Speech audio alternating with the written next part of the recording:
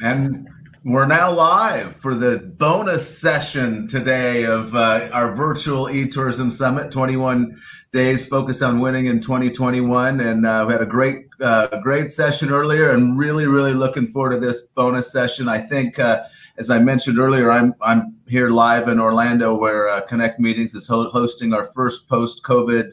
Um, post-COVID meeting. About a thousand meeting planners and suppliers here uh, meeting safely, and it's been an exceptional event. So uh, we're gonna, we're learning a lot of lessons for the live and in-person version of eTourism Summit, November 9th and 10th at uh, Universal Studios. So welcome everybody. Thank you for joining us. Um, this is again a um, a bonus session on, on, a topic that I think is going to be of critical importance in 2021. And as we walk through the conversation over the course of the last 14 days, uh, really building the, the marketing planning, a lot of conversations about uh, targeting and, and uh, audience identification. And I would have to say that uh, probably one of the most often um, impromptu mentioned businesses uh, that have come up in different conversations over the course of the month has been um, Conversant Epsilon. And many people, David, have uh, have done a very good job of explaining that it is now Epsilon. It was formerly Conversant. So people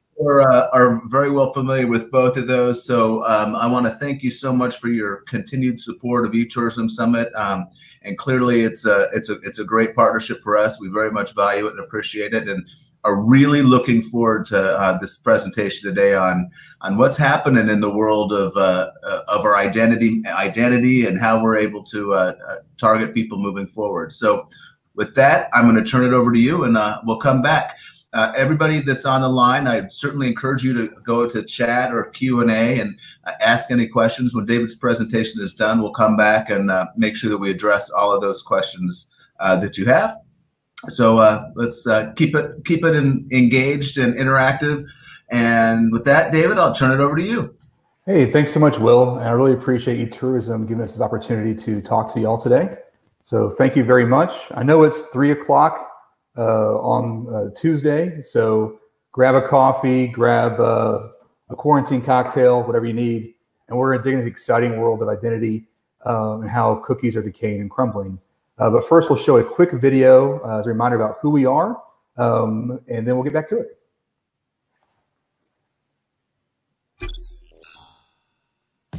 Your goal is for more people to enjoy everything that your destination has to offer.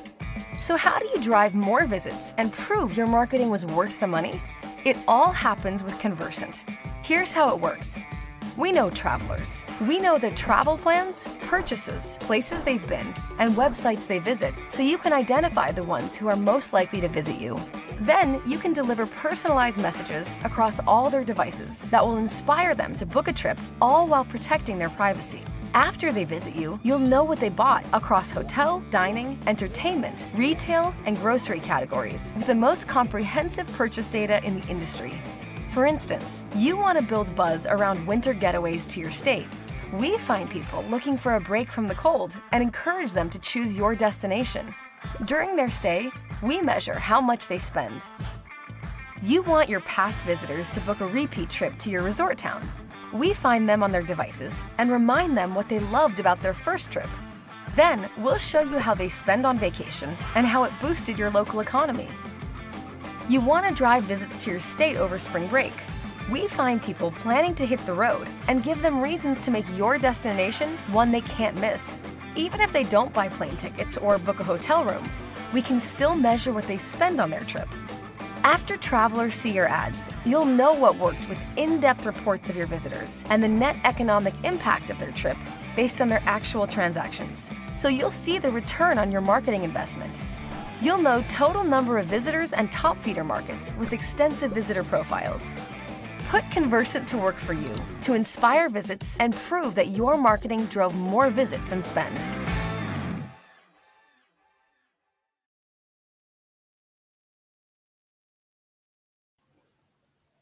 Wonderful. I think Becca will be pulling up the presentation as well here in just a minute.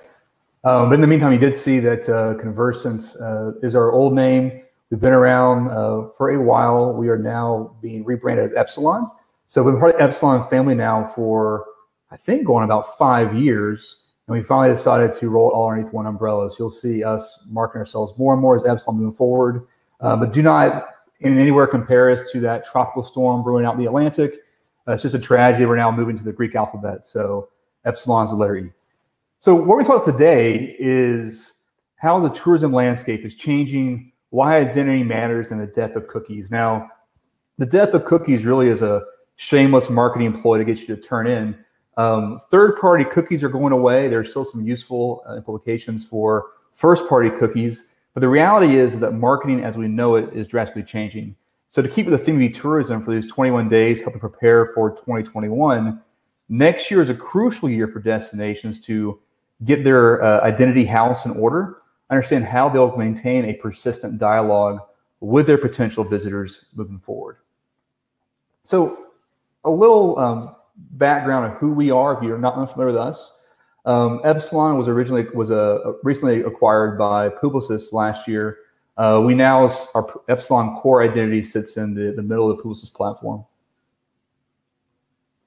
Um, but what we really bring, and one reason we've been acquired at Conversant, acquired by Epsilon, and Epsilon acquired by Publicis, is our ability to drive business outcomes for our clients.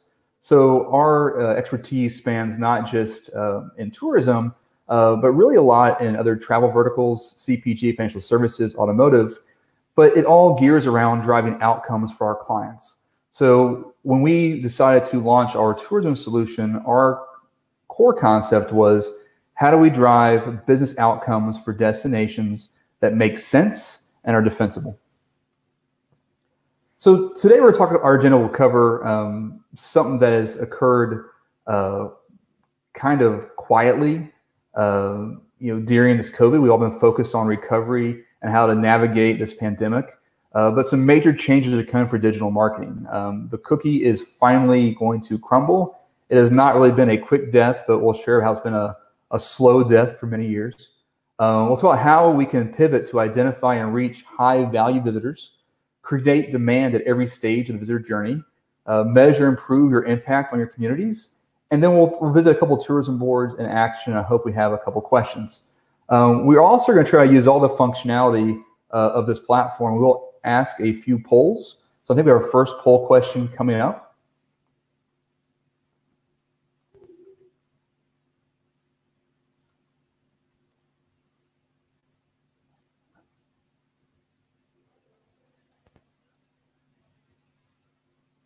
All right, we have a couple responses. we can revisit it.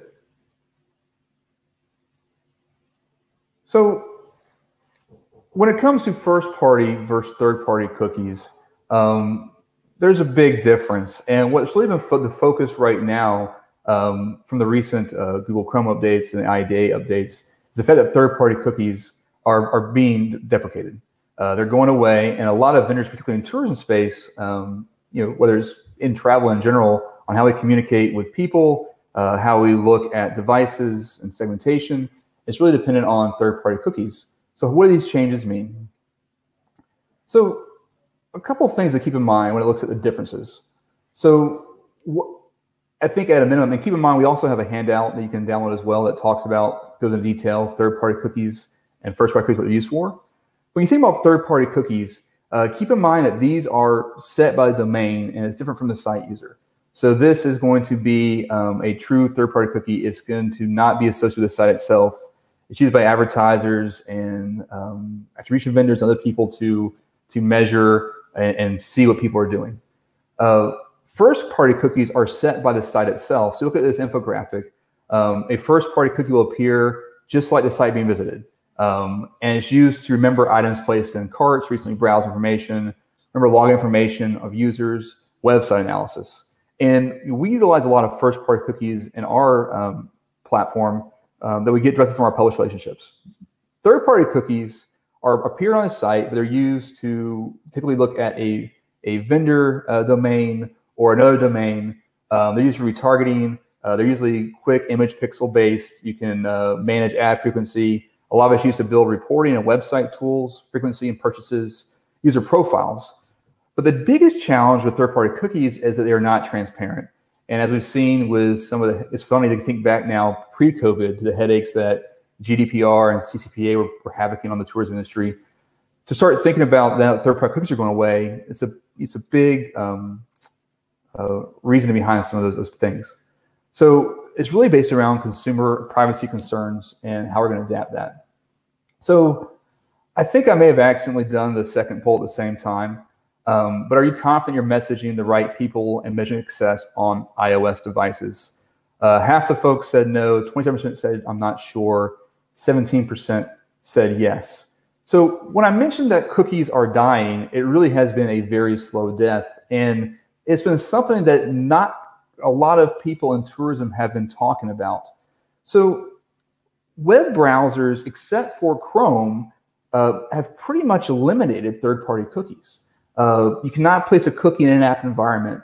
Um, and then recently, most recently, Apple and their IDFA updates, you're not going to be able to actually pass some device ID towards advertisers. So this all started back in September. So in app, uh, 2017, so when Apple released um, ITP 1.0 on Safari, it eliminated third-party cookies to prevent cross-site tracking. And then over subsequent versions, it changed to uh, further limit cross-site tracking. Um, and then Google announced that Chrome might start doing it. Mozilla followed suit. To now that uh, in January 2020, Google announced that by 2022, third-party cookies will essentially cease to exist. Now, this has been a moving time frame for Google. They've revised this a couple times. But what it means to advertisers, if you don't have a firm grip on identity and be able to message people and see visitors and uh, utilize first-party data for your advertising campaigns, there's going to be a big void. Um, but it has not been something that uh, is coming slowly. It's been happening for a long time. And you've probably seen it. You know, kind of an interesting note for us is, and we'll get into how we do um, uh, our identity solution here in a little bit. But we've actually increased our inventory delivery on iOS devices since this happened by 25%. Um, not because we're spending more on it, but the reality is, is that less people, less programmatic vendors are actually bidding on iOS inventory. Publishers make less money on it. They can show less, less proof concepts. Uh, so there's more inventory up for grabs. Uh, so we've actually increased spend in iOS because we're able to see users across their devices and engage them. So why is this particularly challenging? Because they have been relied heavily in the digital advertising industry for years. I mean, it's been the, the essential workhorse since uh, people started looking at metrics beyond clicks um, uh, for, for digital advertising. So they rely heavily on third-party cookies traditionally for personalization of ads. So when you see, you go to browse on a website and that same thing you just looked at follows you around the internet forever, that's really based a lot on third-party cookies. Uh, campaign manage management, some of our basic uh, media tools are based on the ability to place a third-party pixel on a piece of creative or be able to get an, uh, a device ID easily passed to us. Um, that's changing. And then measuring performance. A lot of, of our attribution tools are still based around um, third-party cookies and device IDs. And, and though those are good, there's, there's, there's things that people are pivoting to make sure we're ready for that. Um, it's going to present some challenges as we move into next year, especially during recovery, because for the first time, destinations do not have a lot of demand to just take advantage of um, there's not a, they're having to actually move into demand creation. And third-party cookies uh, are a quick, easy way to be finding certain audiences, but when that's gone, unless you're deeply rooted in the ability to target individual at scale, um, there are going to be a lot of limitations. So now what? So cookies are crumbling; they're going away. Um, a lot of, of digital vendors have quietly stopped running iOS. I mean, something that would be interesting to look at um, we encourage all our clients to do this. Look at your um, paid media delivery and see what percentage actually appears on iOS devices versus a uh, uh, Android browser or Chrome browser. Um, a lot of times we'll see it being anywhere from 0% to 20%. And if you are running media on iOS and you're not using a vendor with a robust identity solution, uh, you're relying heavily on contextual targeting, which means we're buying a website, but we have no insight into who's actually on that. You're not going to understand who that person is, what they're doing. You're just going to know this person happens to be on a certain website. So we encourage you to look to partners who provide a stable and scalable ID graph with a limited reliance on third-party cookies um, to really make sure we're, we're driving great impact during recovery. Explore tools that can help you better leverage your first-party data you might have and transactional data. Uh, we'll talk more about business outcomes, but the goal is for destinations to hold themselves to ROI just like any other business. And then seek out partners uh, that have access to consented first party data. Um, one of the ways that we do that is we, um, to comply with all the privacy regulations, if someone were to opt out on our platform, we opt you out across all devices. Um, a lot of times when people opt out, they're opt out at the cookie level or device level. So making sure you have partners that truly respect privacy and can make sure they can still respect privacy and scale your campaigns. So we've talked about how cookies and they're crumbling and going away. Um, love to answer questions on that um, as we move forward. But now let's pivot quickly to, you know, what do we do now? You know, how do we identify and reach high value visitors? And we have many friends on this call and some folks who may have not talked to us before, but this is a movement we've seen in tourism for a long time. Um, I personally am relatively new. I mean, Epsilon really entered this space hard about three years ago at eTourism.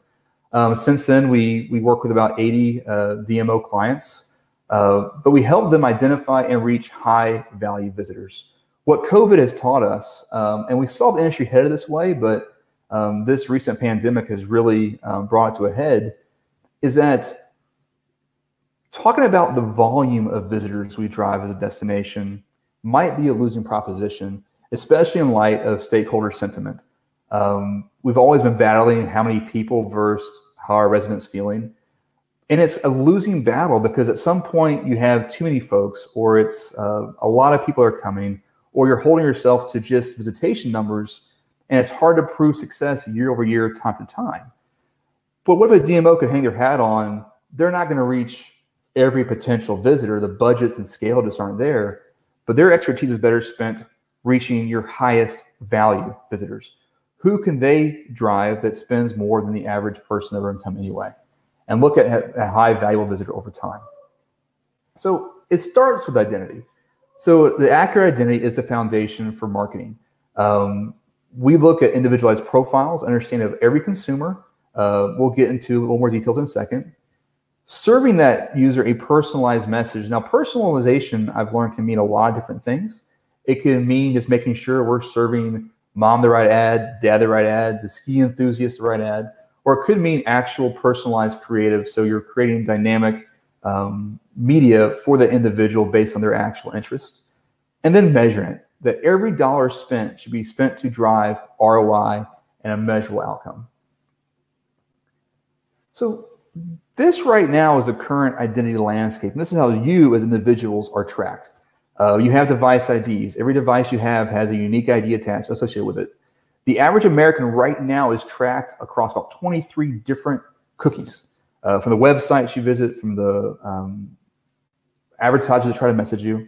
You have PII, you have person identifiable information on you, your email address, your shipping address, your phone number. Uh, you have many different emails. You have your Gmail account, your work email, your your fancy sports email, your junk email, um, different customer IDs, different databases. That creates a real challenge for marketers, especially looking at things from incrementality to just understanding the reach of a potential audience. So the first step in identity solution is how do you reconcile all these disparate pieces into a single ID? So this is an example of, of just kind of put this in, in better perspective. Um, this was an actual client database that they gave us. They said we have 152 million cookies in our database. We did dupe that down to just 23 million individuals. They had so many disparate pieces. They thought they had 152 million people in a database, but it actually is only 23 million actual people. So once you can understand your actual scale, you can calculate things like conversion rates, understand the reach and frequency required to drive visitation, um, actually measure individual behavior go beyond just broad demographics, understand what types of people are wanting to travel now. Um, and then engage this person across all devices. Stop ignoring iOS and really engage an individual in a way that makes them want to drive an outcome. Whether the outcome is buying a car, going on a cruise, buying an airplane ticket, or traveling to your destination. So, what is our approach? And I think a lot of folks, when I've met with them in the last few years, have asked us to dig a little deeper so we're going to do that in our next couple slides. So we've developed an anonymous ID we call the core ID. And the core ID is founded on proprietary name and address data. So Epsilon, um, before they acquired Conversant, has, has a 50 year leader in um, name, address, email, database management. So you can have name and address data as proprietary. We see online and offline purchases from our partners and clients that's matched to this foundation. So everything we do is matched back to a real person's name and address, even though it's pseudonymized. And we augment this by other login registration data and other supplemental data signals. But this approach allows us to connect each core ID to a person's offline online identity. So when you look at the infographic, it's kind of small at the bottom, but each core ID is associated with a name and address and a purchase. So when we reach people on our platform for our destination clients, we're reaching people we know are verified by name and address as a real person, and they buy things and they purchase.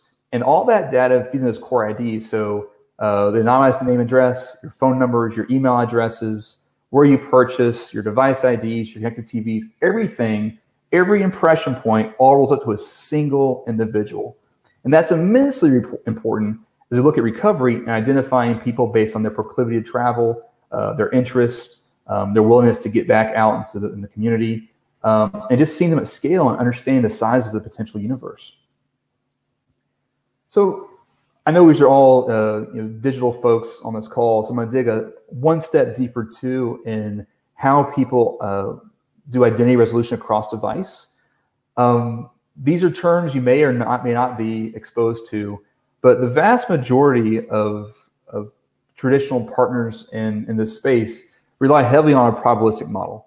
Uh, a probabilistic model is making some implications saying that this data is associated with certain people and devices are matched based on IP address. So this desktop computer, uh, this iPhone, this tablet, they're all on the same IP address. That could be household. So you would see, you would treat mom, dad, kids devices the same or it could be uh, your VPN at work. It could be your entire office building if you're on your work Wi-Fi. Um, but it's a lot of uh, liberties um, and assumptions around just IP address. You have deterministic matching, which a lot of um, companies like Google and Facebook will do. Is they have an email associated with an account and they match devices on their platforms that way.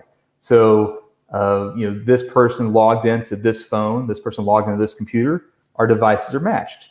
Um, act- there's actual partners out there that only really specialize in um, in device matching. They usually a hybrid approach. So it's usually IP plus email address. So it's um, it's a, to give a little additional scale. What we do is a little unique. We take a deterministic model. So we look at that hard login data, but we verify it based off of purchases. So shipping address, billing address, all your emails. So we match devices It's persistent and it's scalable. We'll understand this is the same user on their iPhone, uh, their tablet, their personal computer, their work computer, and see that person at scale to control reach and frequency, and ultimately the ideal messaging to drive the outcomes desired. So with this single view of traveler, you can see all these different interaction points. Uh, this is a very busy circle, so we won't spend too much time on it. But if you look at the second ring, you'll see first party data, third party data, behavioral contextual. All these pieces are important, uh, the challenge in the current landscape is they're fragmented. We've taken all these pieces, consolidated into a single ID uh, to get actionable uh, results out of. Uh, where we work with someone like an automotive manufacturer or a cruise line or airline is they have robust first party data, the upper quadrant, or the upper, upper piece of this um, circle here. So we see, uh, they'll say we have actual first name, last name, email. It's all anonymized uh, we we match that to our unique anonymized device IDs or our user IDs, core IDs, and mess on their behalf. The challenge with destinations is there's no first party data. So what we've done is we've developed a proxy for that, an ability to to help destinations who may not have databases actually get learnings from past visitor transactions in their markets and make actionable decisions to drive outcomes uh, for their community stakeholders. So how does this work? So we talk about how we match uh, consumer uh, to their online profiles. So step one for us to build these profiles is to match all your devices together. We then verify that person with that offline first name, last name, uh, all your email addresses, your purchases. We then see hundreds of days, not 30 day cookie segments, but hundreds of days of desktop and mobile um, browsing data, content consumption, uh, location data. Uh, that's the foundation of every profile we have. It's these first four pieces. For destinations now, we do something really unique. Um, so for this fifth piece is where if you were a, a travel brand, we'd ask you to supply some of your first party data to round out uh, this audience to really make it impactful for you. What we do for destinations, we look at two years of historic spend, and we see about 60% of all US non cash transactions in your zip codes. We then suppress your residence. As we've talked about, we, we understand people's shipping address, billing address. We know who lives in your destination. We suppress residence, and we're left with visitor spend. Uh, we then know where those people from, what they look like over time, and we can either target them for quick win back strategies or model them to drive uh, new visitors to your destination based on those and the attributes that yield the most uh, revenue. So people who stay longer, shop more, spend more across our entire community, and contribute more to our tax bases can be the key proponent of who we're trying to reach. When you think about a, a retailer, uh, the same strategy applies. If you're retail, you have a CRM database, you're targeting your, your best customers to try to drive incremental revenue. You have site retargeting that's activated. You're targeting people that hand raise and go to your website to drive additional revenue. And then you have prospecting. You're going to look at people that look like your past customers, that have a propensity, hopefully, to spend, and drive them to come to your brand. Destinations can apply that same methodology. Target their past visitors, identify hand raisers based on travel intent and retargeting, and then acquire net new visitors to help their brand overcome and maintain or grow their share of vacation. So, as we look at these people, we must look at everything you're doing. So, we see who you are, what you're buying, both online and offline, how you're consuming broadcast and digital, uh, where you're actually going, how you're interacting, and where you're shopping. All this rounds out. And on the previous slide, we mentioned 200 million. Uh, is that's the amount of people we see in the United States. We see about 18 million in Canada uh, and other countries around the world. Those are people we have a core ID against. So we see, again, devices matched, verified by purchases. And to put a 200 million number in context, uh, the population of the United States is about 330, 340 million folks. Um, so whenever you see someone quote profiles, we have 500 million profiles, we have a billion profiles. I would always take a step back. and Let's put it in context of the actual population. If you're seeing uh, numbers higher than the population, those are cookies, devices, fragments, not all real people. So when we say we have 200 million folks, that is roughly about 88% of the online targetable adult population every single month. Uh, you can verify that based off of, uh, of the census data. So it's always important to understand, you know, marketing 101, what is our reach and frequency? Uh, so I think it's really important to understand your potential universe to uh, the consumers you can reach to drive the outcomes you want. So we'll pivot really quickly uh, into the travel market. So Epsilon has a, uh, a survey we do called Shopper's Voice. It's not travel specific. It actually applies to um, all consumers. Uh, we have asked uh, during this pandemic a couple of travel questions. Uh, this pool actually came um, from our end of July pools. We're updating this now uh, for the fall, but we have some learnings I want to share. So of people who are eager to travel, this is back in the summer, you can see the generational breakout. Uh, you know, younger folks are wanting to travel. You know, it's not really anything um, too earth shattering. But as you look to these other trends, people are relying less and less on government direction on feeling safe when it's the book. Um, they want to know you have a plan in place. They want to understand the fact that um, there are safety protocols, but they're not relying on the state or federal government to give them a thumbs up saying it's safe to travel uh, people are willing to travel. Um, they're becoming more critical of, of what's going on as this pandemic drags out. Uh, and they seem to want to be getting out and visit, but not everybody. The second uh, or the third thing that we saw here, um, and this is a lot of numbers, you'll share this after you'll see it. But you go all the way to the end. Um, 25% of people, there's nothing you could do to make them travel right now. Another 23% on the fence. So as we move out of COVID or even trying to, to grapple with recovery, it's not even as much as who you're actually messaging, but it's who you're not going to message. There is no need, if you're trying to look for short term revenue and hotel occupancy, to message people that are in no way going to travel. But unfortunately, uh, with traditional demo targeting, you know, we want to reach women, household income 25, 54, kids in the home. Uh, you're going to get people that are not willing to travel. We're able to see people who um, are responding negatively to certain uh, advertising, who are not interested in traveling, who have said they're on these surveys they're not interested in traveling. Um, but I think moving forward, it's more about who you suppress. You know, people that have certain conditions or uh, certain uh, leanings that was not uh, allow them to travel right now. Uh, you shouldn't be messaging them. So even more importantly now than ever is how do we minimize waste by taking what limited budgets we might have to make sure we're targeting just on the best people that will drive the biggest impact on our community that are actually willing to show up. So to our next point is how do we then pivot to demand creation? Uh, the travel industry has had a heck of a run. Uh, you know, we've seen it kind of go in, in, in, peaks and valleys, but there's been demand. Uh, people want to travel. Travel is a core tenet of who people are, how they identify themselves. Uh, they plan, they budget for vacations, they want to do it.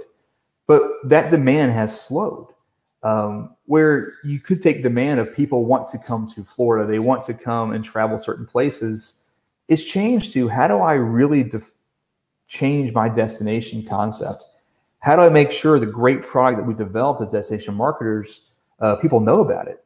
You know, it's less about there's just demand. They're going to Google you know great vacations in certain state and stumble upon us. It's more about how do we make sure we maintain our share of vacation and frankly our competitive edge moving forward. Uh, destinations, what I've found, uh, Southern tourism is everybody's very collaborative. Everybody wants to help. Uh, we're all in this together, but we also need to make sure that we maintain our competitive advantage. We have to make sure that we're top of mind, that we don't lose our existing customer base to other destinations. So, how do we create destination demand? Well, it starts about how you actually message an individual. So, to go back to the, the cookie concept, if you're doing basic demo, third party cookie based targeting, this is what you're targeting. You're treating every single possible impression you bid on as the same. In this instance, they're male 35, married with kids, income 150K plus, live in New York.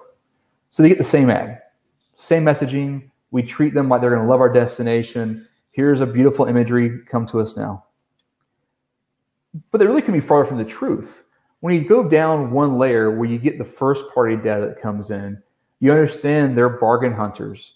Uh, they like luxury. Uh, they're loyal to certain airlines. They're not loyal to others. Um, they like golf. They like beach. They like skiing. So able, to be able to see someone and who they actually are allows you not just to serve them a message that drives most impact, but also not target people who are just aren't a fit for your destination right now. Um, I think it's time to embrace that it's not going to be for everybody every single time. We have a lot to offer as destinations, but how do we find our core customers? And it starts with identifying who's been in the past, what they look like, how much money they spend, and creating models and audiences to make sure those people were coming back and that we can find more folks that like them. And then use compelling creative, understanding um, you know where they're going and serving them ads and sequences based on what they're actually doing. Uh, we know if someone does not convert on mobile device ever, we're not going to convert on mobile device this time either. We understand how people like to interact, what times of day they interact, when they like to purchase, when they're most engaged. And you can make sure you're delivering media to drive that outcome. So now we've talked about how we create demand generation, kind of the nature of the travel industry right now, uh, the fact that there's some major changes coming uh, in the world of, of how uh, digital marketers can actually track consumers over time. Uh, it's time to look at how this actually applies to our communities. So it's great that we can have all this this targeting, but if we can't uh, communicate it to our our shareholders, uh, does it really matter? So our goal now is to how do you measure, improve your impact on the community? And I, we've talked to this a lot of our clients on the call. We've talked to a lot of folks in the past. Um, generally, stakeholders and residents do not question that tourism is important for their economy. Um, a lot of times, the scrutiny comes from what exact role that destination and marketing organization play in that tourism journey? Uh, how we get that visitor there? You know, what is that direct investment? We spent fifty thousand dollars. What did we actually get out of that? You know, it's not saying we drove all the tourists in the world to our destination. It's saying based on our marketing investment, what did we actually drive? Um, and it allows you to put dollars and cents against your, your efforts. So we want to prove that your digital investment drove ROI and impacted your communities. So the first step we talked about it building at this point is we define that right audience and feeder market and message them across all our devices. We then match those individuals to their transactions that they made in your market when they show up and measure that. So we're able to see user ABC123 was messaged in Atlanta, Georgia. They took a road trip down to a destination in Florida and they spent this much money while they were there based on what we can measure. Now, it's really important uh, to note for us, we do things a little differently. Uh, we don't extrapolate the data. Uh, we report back on exactly what we see. Uh, so here is 50 to 60% of the transactions these people made. Uh, you're able to model that more, uh, use other partners to tell a more complete story. But we thought it was really important to give a baseline of truth to your visitors to really help you make meaningful decisions. So we'll walk through some sample reporting. So for this particular client, you can see their marketing investment uh, over a certain time period. This is right before COVID hit, so they actually had a really short visitation window. Uh, you can see the return on investment. So a $79 to one return on investment. Now that encompasses everything, not just hotels, that's restaurants, that's retail, uh, that's grocery purchases, vacation rentals. This is what these people spent on their measured non-cash transactions while they're on their vacation. This investment allowed us to reach 9.2 million unique people and 27,000 showed up within 90 days or less. Um, now, this total visitors number is just the amount of people that actually made the purchase. So, for example, if uh, mom gets served ad and dad doesn't, we'll see mom's purchases. Uh, moving into next year, we're going to start looking at things at house level too. But right now, this is all tied to the individual. Um, but what's really interesting is when you see the total visitors and the people you messaged, you then get a message travel rate, which is the conversion rate. So look into budgets and you have visitor goals, visitation goals. Once you understand your conversion rate, this is a good benchmark and goal to try to increase over time. You know, how do we get our conversion rate to increase, get more people to increase and then show up and market? Um, and then we get to the bottom uh, corner here. Uh, you're actually able to see your average yield per visitor. So on average, now some people spend more, some less. Uh, what did the person we message actually spend? then our goal is over time to, you know, let's empower DMOs to say, all right, here's our baseline average visitor spend a destination. Here's those we messaged. Then we drive people to spend more, and that's a winning. Um, that's a it's a winning um, strategy uh, to make sure we're really telling a good story for our communities. So you can break this out even deeper. So you know a lot of our clients have used this to look at hotel ROAS. So we check the box saying we're providing value to our hotel um, stakeholders. So in this example um, is a 33 to 1 return for um, hotels alone. Uh, we saw vacation rentals as well. This is more of a hotel destination. Uh, then you can see retail ROAS and dining and nightlife ROAS. This is important as we look at funding mechanisms. So, you know, I know um, people are presented here across the country. Uh, some have TIDs, some have other things they can use. Um, some destinations have passed uh, sales tax incentives to help fund tourism. Well, they've looked at restaurant taxes. Um, as, as I'm sure a byproduct of COVID, as we watched uh, funding take a major hit, is we look at alternative funding mechanisms. Uh, and you're able to now see the percent of visitors spend that's what sales tax that they're actually spending and collecting, what money is going to the general fund that tourism is not getting credit for directly, and be able to make the cases for maybe some alternative funding mechanisms. And then you can see uh, revenue by residential DMA. Uh, because we see people's address, um, we can message folks and, or just deliver media, let's say Atlanta DMA, and then see people that are residents of Atlanta, but also maybe residents of other places that were in Atlanta uh, for work or for travel or for business. We can also target people based on where they live. So if your goal is to, I want to target just residents of New York or just residents of Atlanta, uh, we can do that as well. Um, and we're able to see uh, what those residents do when they're messaged and what DMAs perform the best in terms of yield and spend. Uh, so you're able to inform all your marketing decisions. If you're looking at spot cable or TV or print or magazine search or billboards, you know what markets drive the most value uh, for my economy. You know who has a lower cost per acquisition uh, versus uh, other places. Is it cheaper to invest more in Chicago and Boston versus paying a premium for New York? So you know as you move forward and we look at um, making sure we invest our marketing dollars best way possible, you know, understanding where people are actually coming from and how they're spending uh, is really important.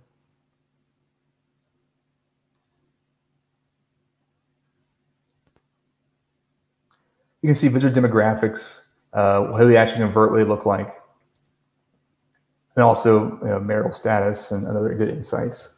Another good indicator of, of driving value is looking at visitor net worth. You know, as you're looking to to utilize this data other things. Our clients have looked at ways to drive airport recovery, uh, you know, targeting specific customers, certain airlines within certain feeder markets to rebuild route demand.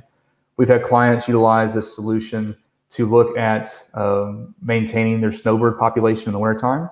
We've had clients also look at using this um, uh, for their CARES Act funding to show that they're actually driving impact for their local community as well. Uh, so when you think about spend and your role as destination uh, managers now or marketers, I think moving forward, we can think about um, how we can use the constant individual, how they transact, past visitors to make sure we're driving true ROI for our communities. Another interesting breakout for this uh, that we can show as well is spend by zip code. So as you're looking at um, economic development decisions, ways, where's places to invest in your community, um, did that new boardwalk pay off? Um, did this development pay off in this certain zip code? So really start using some of these insights too for city planning. It's funny a lot of times, uh, especially while we're doing this regional travel, focusing really on um, drive markets, we're seeing places like outlet malls pop. We're seeing places um, that might have you know a lot of shopping areas pop more uh, in terms of spend in restaurants over maybe the hotel districts. So we're able to capture hotels when you swipe the credit card and market. We also see what people spend everywhere else. So I'm going to end on a, on a couple notes here. We'll have a little extra time for questions if there are any. Um, again, before I jump into this, encourage you to download the handout. Uh, we also have a new ebook uh, being published tomorrow. We'll shamelessly send links to about navigating in this COVID world in a cookieless environment. Um, but here's a couple tourism boards in action. Uh, some of these names are people you've probably seen. Uh, I mean, these are e-tourism favorites. They're always on uh, presenting something. Uh, but for Savannah, uh, they were actually one of our first uh, clients. Um, we drove a 133 to 1 return on ad spend for them, um, as well as, as a lodging ROAS of 21 to 1. Uh, and Zeke says really nice things up top.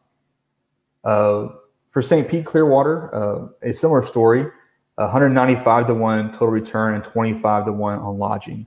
Again, we can show the lodging tax we drove, but also the types of people, where they come from, and, and try to identify the best possible visitors uh, for your destination to drive meaningful um, value over time. So, some final thoughts, and again, thank you for joining me on this um, afternoon session. I uh, hope you've had another cup of coffee and maybe made yourself a second quarantine cocktail. Um, but really ensure you have the right strategy in place. Um, every dollar invested should go towards marking your destination, and proving what you're doing works. Recognize the importance of your marketing investment, how it's driving community impact and economic growth, um, and focus on maintaining your competitive advantage. I know we're all friends, uh, but it's really important now to maintain your share of vacation, especially as certain destinations open up certain times. Your current visitors might be experiencing a new destination for the first time because you were not open yet, or you had restrictions were not lifted yet. So it's important to re-engage your past visitor, tell them, hey, we're still here. Come see us when you're ready. We have safety protocols in place uh, and maintain your share of vacation. And then continue to understand every consumer in the tourism market and personalize your plans for your destination. Um, not every beach is the same. Not every city is the same. Not every mountain town is the same. It's important to understand what your core product is and find the people that resonate the most with that core product. And the best way to do that is to look at your actual past visitors, how they spend, and make decisions based on that. Um, so with that, I'm happy to entertain uh, some questions. Uh, a little early, which is great. Um, I know everybody's very busy, uh, but if there's any questions, happy to answer them.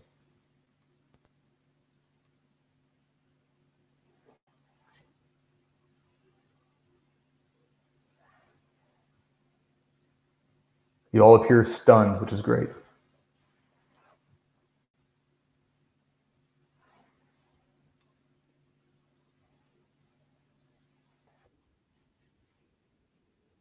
Um, one of the one of the questions that I um, that that I had coming out of that, and I and I've got several, but uh, we had a, a, great presentation this morning talking about marketing the passion points, and I, I was just wondering how how granular you can get in terms of really specifically targeting kind of those passions or uh, you know the the niche audiences in the delivery of the messaging. Uh, you can get pretty granular. I mean, we've run some campaigns targeting brewery enthusiasts, um, certain cultural enthusiasts to try to get them to show and drive impact.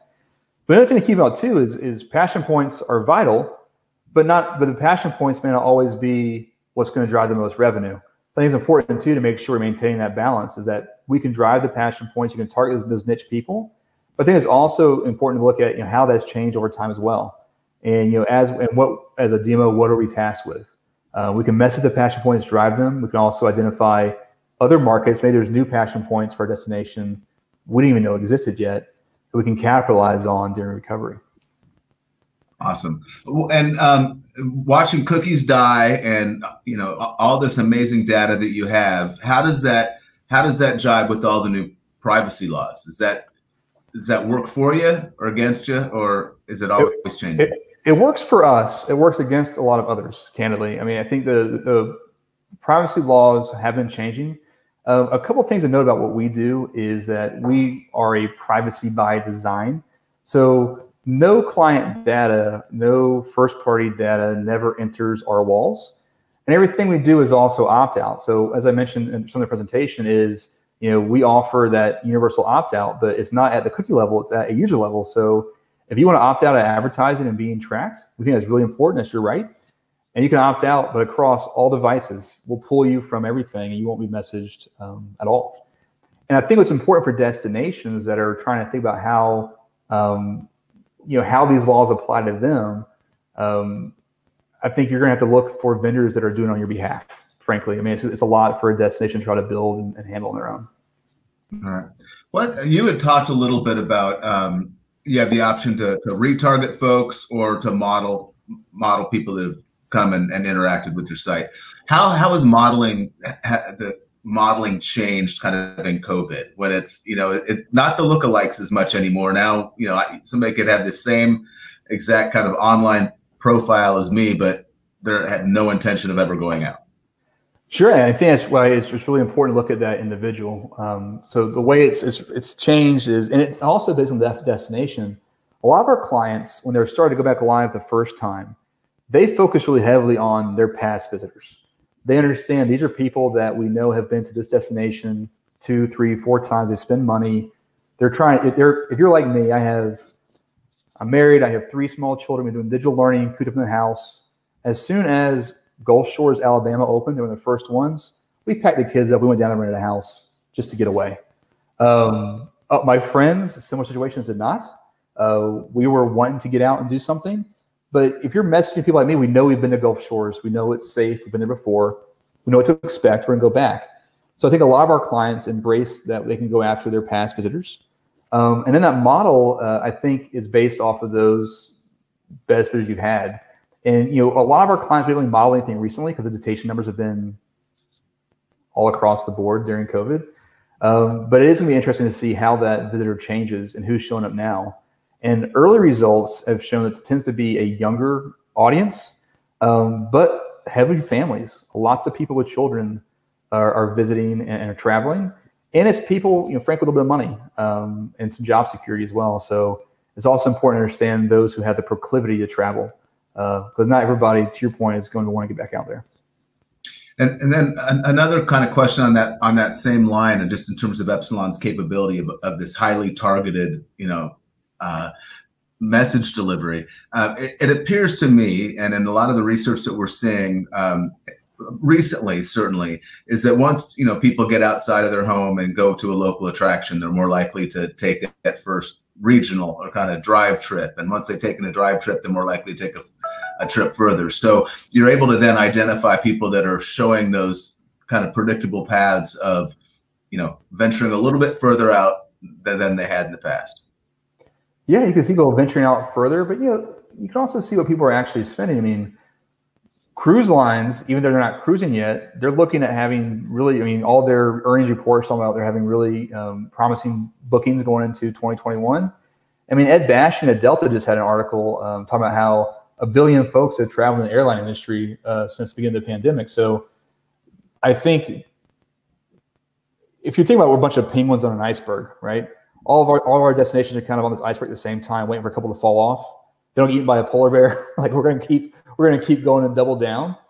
I think people that take advantage of some of these flight markets sooner than later will help them rebuild their routes faster. And people are willing to fly. I mean, you're seeing folks. I mean, just look at your friends. I mean, they're going out to Wyoming and Montana. They're getting out and trying new things. I think people are flying. Um, you know, so we focus on the drive market, continue to focus on that. But I wouldn't discount people willing to travel further um, because the bookings, the airlines, some of the, some of the initial uh, earnings reports, as well as what we're seeing, so that people are also willing to travel longer distances as long as they can be ensured they can do it in a safe way. Absolutely, um, and and I've long been a believer of kind of you know yield versus you know pure raw numbers. And this is this is something that you've been able to consistently deliver on over time. My question for you is that uh, it appears again from all the conversations we've had people are making a decision either you know for, for in the week for the week or they're making it you know starting to make plans for six months down the road. And are, are you able to capture both the near term kind of booking and the, the longer term booking as well on, on, on your campaign data? So we actually we look at less at the booking; it's more at the person actually showing up and spending money. So right. you, if you were to be served an ad, uh, we will we will capture your data within 90 days. So we're going to see this person showed up in 90 days and, and was messaged and they showed up and spent money, anything past 90 days is custom. We typically look at 90 days as a good benchmark for showing up. Um, but we're seeing immediate impact. I mean, some of our, our clients that went live, we gave them their first reports that came live in June and July. They saw strong numbers uh, towards the end of the summer and beginning of fall because they're able to message people and tell them they were open and people showed up. So we were able to, so we had a lot of that really quick within a month and a couple weeks showing up and spending money. We also folks that waited, you know, six to eight weeks to actually show up. Um, what's interesting now is it's so regional is that you have some people in school, some folks not in school. I think you're going to have a stronger winter than people plan on everywhere. You just have so many people that are pent up and they have they have the flexibility to take their kids to go learn somewhere else um, for a week, I think there's an opportunity to, to recapture uh, more leisure business, even though we've lost um, you know, some of the, the standard you know, business to business Monday through Thursday business. Okay, one one final question for you, and that's on the you're solving an issue that has long been a challenge for destination marketers, and that's obviously proving the the real ROI spend. And have have you had um, clear the data that you're presenting is pretty pretty well demonstrates that you know you spend a dollar, you're going to get more than a dollar back in sales tax revenue. And I think anytime you're able to, to that was just one line I'd add in to your uh, to reports, right? I mean, if, if, yeah. I'm saying here's a sales tax dollar, you, government money is getting more money in taxes than they're they're putting into this campaign would be a really powerful metric. But um, case studies in terms of people that have uh, that have been able to take that data back and really start to demonstrate to their local political uh, leaders that this is this is winning and and to support the the DMO. Yeah, sure. So we, uh, we have uh, case studies on our website. Um, I think if there's a, there's a, you can click out after this, you can see case studies from our friends in Franklin, Tennessee, Omaha, Nebraska, um, Savannah, St. Pete, Clearwater, um, and others. And we have other case studies we worked on right now. Um, but everybody's seeing you know strong results, and they're able to use that to impact your campaigns and it really, really will. It's one of those things I not to, you know, I, you know, e-tourism is a big part of this. I mean, that's one of the things I, I know as a as a vendor, but really has. We met some really smart people here about three years ago, and and they have embraced it and they've doubled down and they continue to invest because they're seeing that that uh, that meaningful uh, results for their destinations. So a little plug in there as well. Sure, we, sure glad we got you detourism three years yeah. ago. Uh, back in the Conversant days and now that we're at Epsilon i can't tell you how much we appreciate and value your uh, continued support and we will be uh, back together in person November 9th and 10th this year as part of our hybrid event. And then who knows what next year looks like, but we're going to be uh, eTourism Summit will will survive this and uh, and I think we'll be we'll come out of this stronger than ever. But it's only thanks to uh, amazing uh, partners like you. So thanks again for your time. It's amazing how fast an hour flies. Um, and I again, I really appreciate it and wish you wish you the best and look forward to seeing you again soon. Thanks a lot. Bye, everybody. All right.